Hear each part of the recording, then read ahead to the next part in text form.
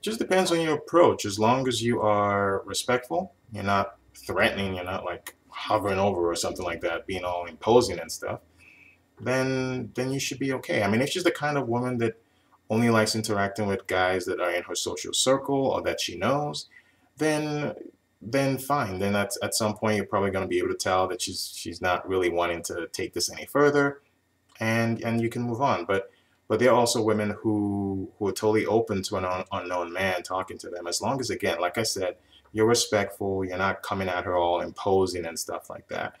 Yeah, and and you you get you're able to establish a, a, an interesting and and good interactive conversation with her. You know, there are women who are open to that too. You don't quite know the kind of woman you're dealing with until you actually step up and talk. So try not to let that stop you. Try not, not to let that fear stop you. If there's someone you like and you like the way she looks and you want to, you, or, or there's something about her that interests you and you want to talk to her, go talk to her and see where the chips fall. Guys and girls, leave your comments down below. Subscribe to the channel. And if you want to ask a private question, click on the link below for a consultation.